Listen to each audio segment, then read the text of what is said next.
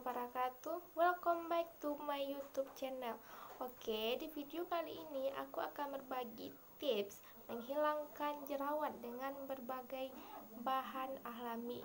Yang pertama yaitu menggunakan batu es. Yang kedua, jeruk nipis. Yang ketiga, ini ada sirih merah ya. Yang keempat